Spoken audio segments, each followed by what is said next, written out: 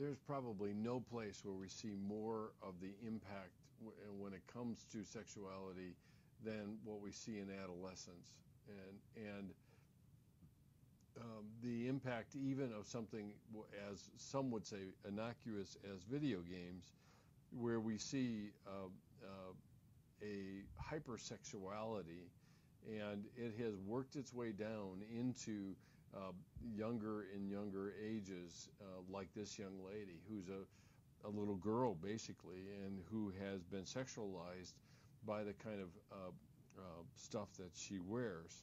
Um, although physical maturation fosters a sexual dimension uh, to adolescents' emerging identity, sexual expression varies greatly with time and culture, and we, we certainly have to take these into account when we're talking about uh, teenage sexuality. And you can look back in time at a variety of books and so forth and see it.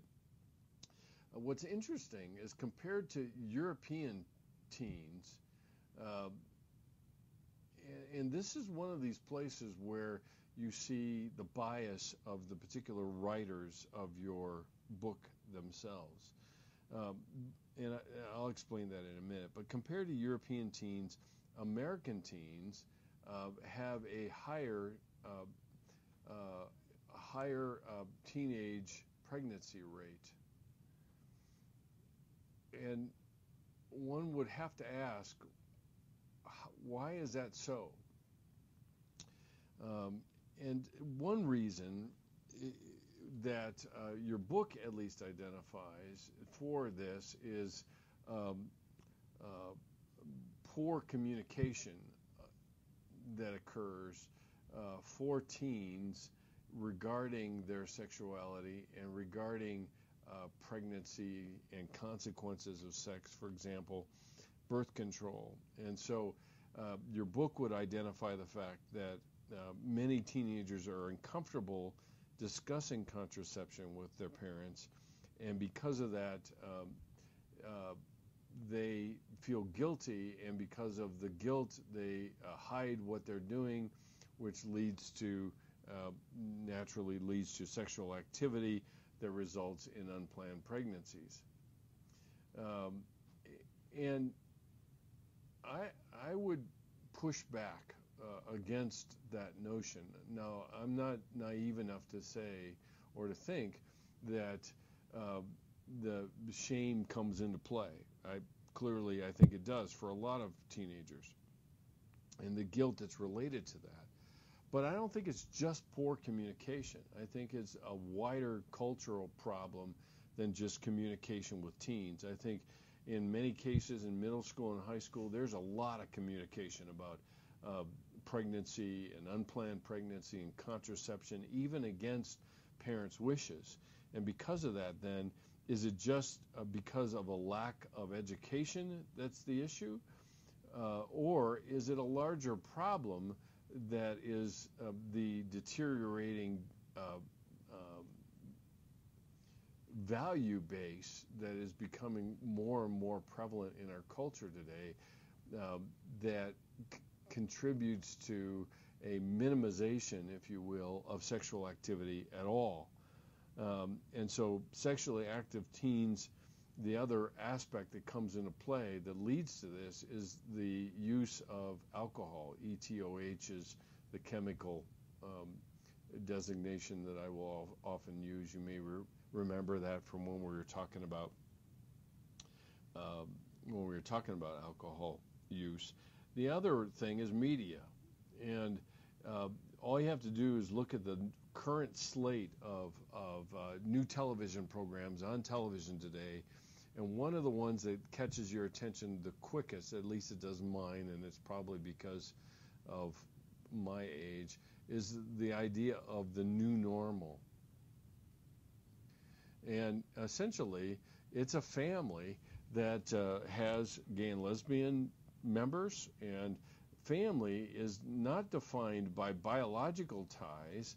Uh, family is defined by social ties, and we they that comes into play when we're talking about sexual activity at all. And and uh, that's that's part of this backdrop when we're talking about adolescent um, and adolescent sexuality. Is uh, increasingly the media environment in which sexuality is discussed and played out. Media portrays an image of consequences less. All right, and that what, I'll write it down so you catch it. Is is consequence less sexual activity, and that's essentially what contraception allows us to do.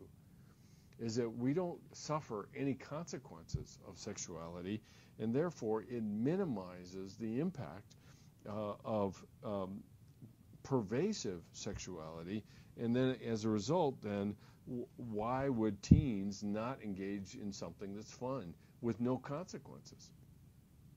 Um, and so the whole idea of teenage pregnancy is a minor technicality, if you will, partly because of abortion that can save the teenager from a, an unwanted pregnancy, um, or the day after pill uh, is another uh, contraceptive device uh, that uh, rescues from consequences of, of sexual activity.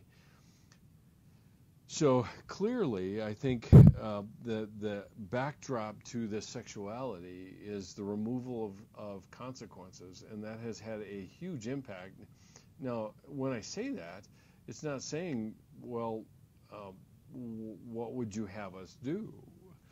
Well, uh, to be blunt, is don't have sex if you don't want the consequences.